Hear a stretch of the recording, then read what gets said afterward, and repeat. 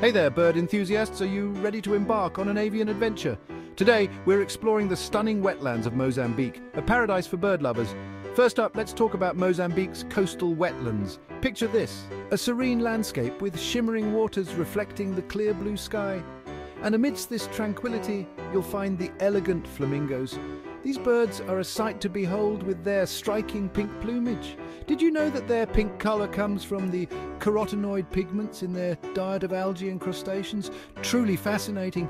But the coastal wetlands are not just about flamingos. Keep your eyes peeled for the black-winged stilts. These tall, slender birds are known for their long pink legs and striking black and white plumage.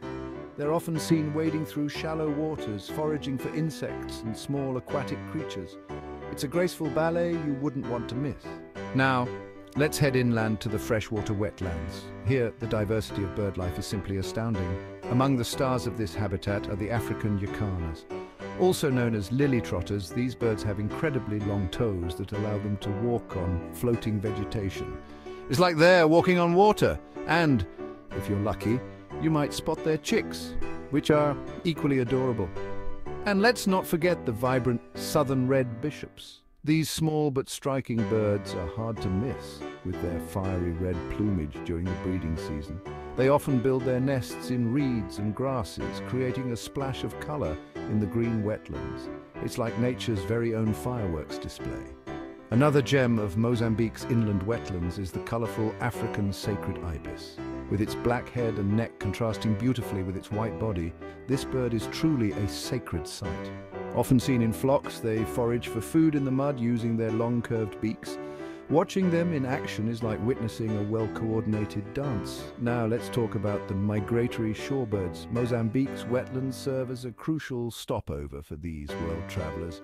Among them are the curlews and sandpipers who journey thousands of miles to rest and refuel here.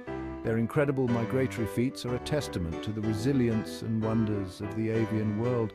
So whether you're captivated by the elegance of flamingos, the grace of stilts, the charm of jacanas, the vibrancy of bishops, or the sacred presence of ibises, Mozambique's wetlands offer a treasure trove of avian delights. It's a place where nature's beauty and biodiversity come alive in the most mesmerizing ways. Thanks for joining me on this bird-watching journey. Don't forget to like, comment and subscribe for more avian adventures. And until next time, happy birding.